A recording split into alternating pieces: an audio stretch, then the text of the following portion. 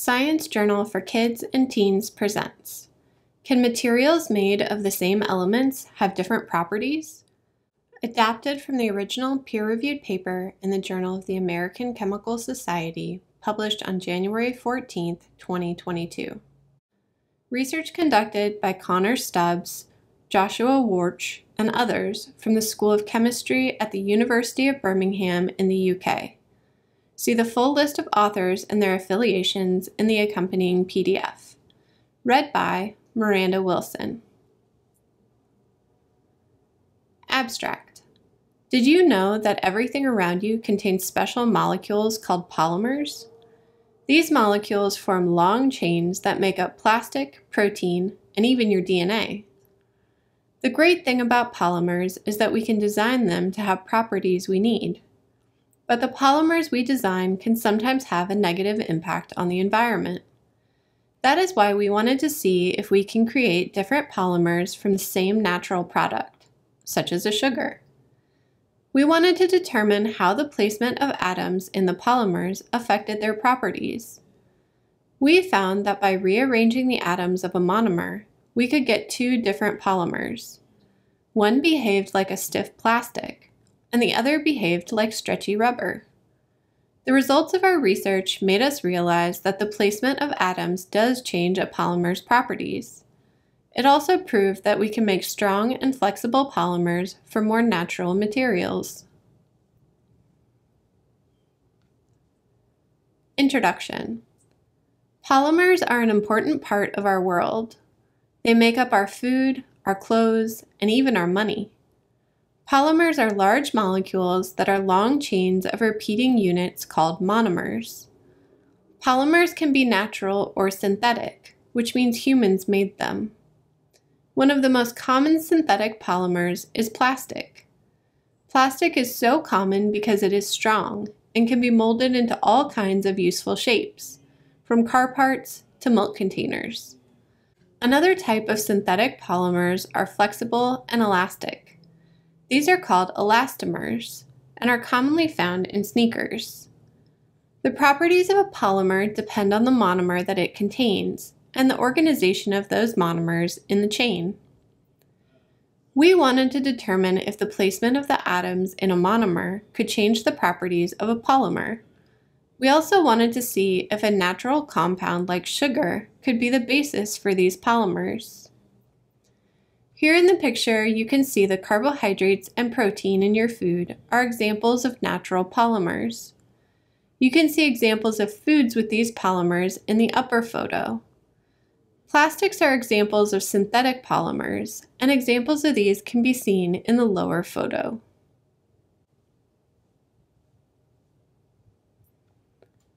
Methods.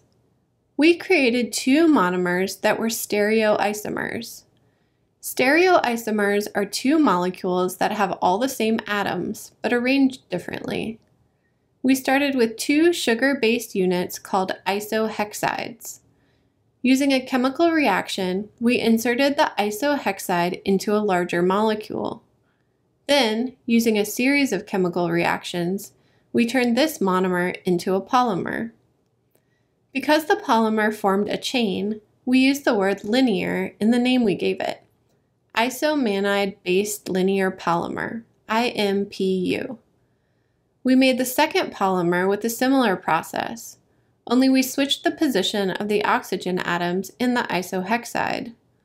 This polymer was also linear, so we called it isoidide-based linear polymer, IIPU.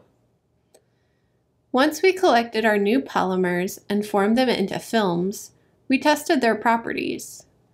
We placed a film of each polymer into a device that holds it at each end. Then the device slowly pulled the film until it broke.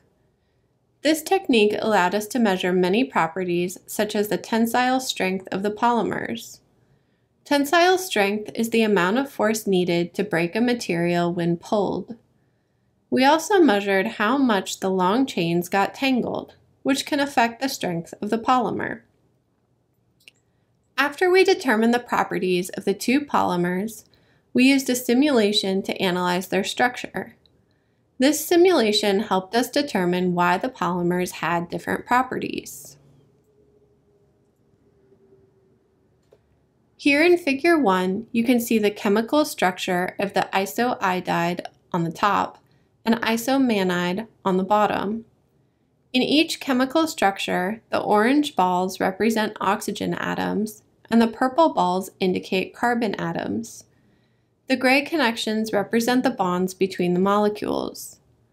The arrows indicate that what is represented is just one monomer. To create the polymer, monomers would be continually added to each end of the chain. Looking at these structures, can you figure out why isoidide and isomannide are considered stereoisomers?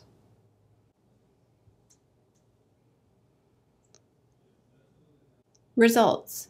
We found that isomannide-based linear polymer behaved like the bottom of sneakers, which is a tough rubbery material.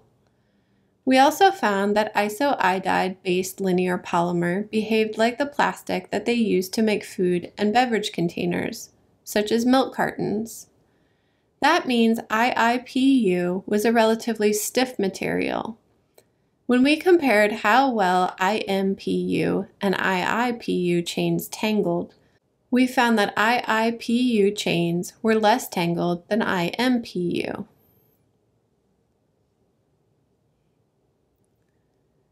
Discussion our experiment showed that changing the placement of atoms in a monomer can change the property of a polymer. That's because the placement of the atoms affects how the polymer chain interacts with itself and other polymer chains. Our simulation showed that IIPU forms long, straight chains that can pack tightly together. This packing caused it to behave more like a hard plastic.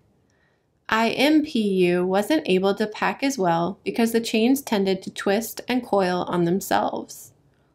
This twisting formed temporary links between parts of the same chain. When we stretched the polymer, these links would break. New links then formed between other chains of IMPU. When we stopped stretching the IMPU, the links between chains would break.